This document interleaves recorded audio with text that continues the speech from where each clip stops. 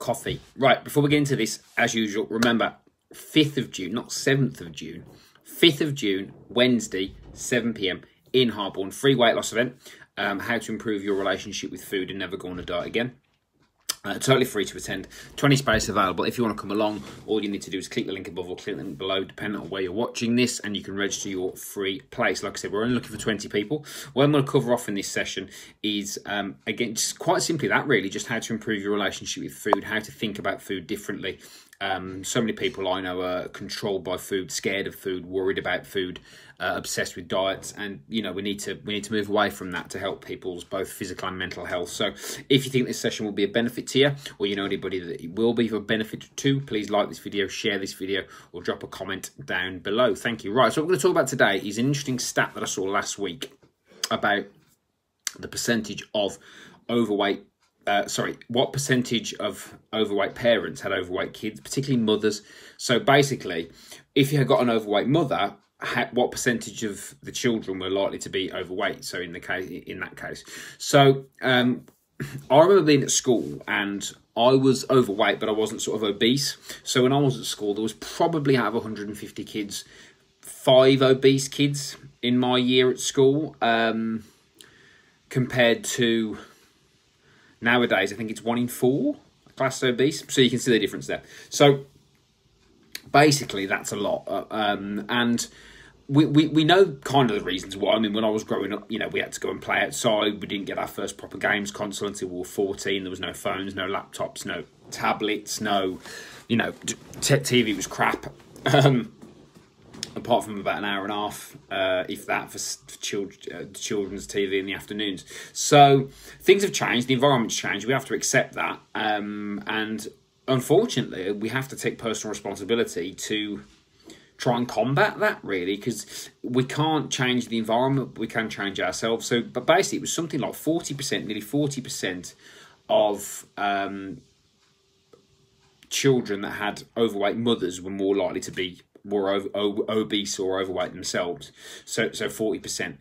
So and, and I think if the parents weren't obese, and the mother wasn't obese particularly, um, there was something like fifteen percent. So there's a big difference. There's like a twenty five percent difference in um, in the numbers, and it, it just goes to show how important it is to set an example because life is difficult and it's hard and when the problem is, and going back to the point about environment, is that what's happening is because it's easier to sell and market products now and food a lot of food in the supermarket is a product it's not really food it's not really like real food like fruit vegetables meat nuts whole grains this sort of stuff.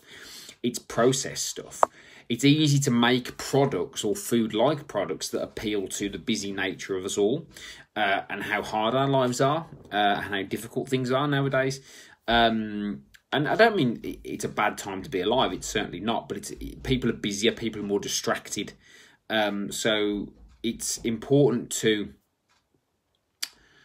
think about the environment, but also think about the example that you're setting. So, of course, I'm going to be a father in July. Um, I'm quite fortunate in the sense that you know if I'd have had a kid when I was 28, when I was smoking 20 a day and fat, I perhaps wouldn't have been setting the right example. Whereas now I feel I'm in a position to be able to set a good example. Again, I'm not expecting it to be easy, no way, no, nowhere near easy, or even perfect, and I won't make all the right decisions all the time.